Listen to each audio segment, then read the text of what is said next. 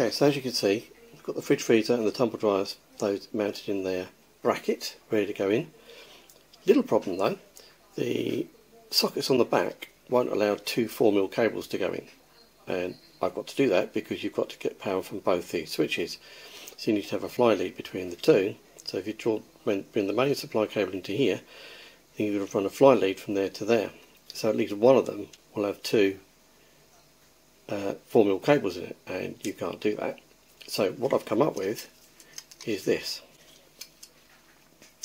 So the main supply cable will come into this Wago here for the line and the neutral from the supply will come into there. As you can see I've then connected those neutral into neutral, line to line to both switches. They bend down quite nicely. Those are the supply cables going on there. Uh, sorry, those are the loads going down there, which are 2.5mm cables. And because I've used a 35mm back box, just put that up against it, as you can see, there is plenty of room for that to work. Normally these are that you're told to use 25mm back boxes on these. If I had done, that would not have worked.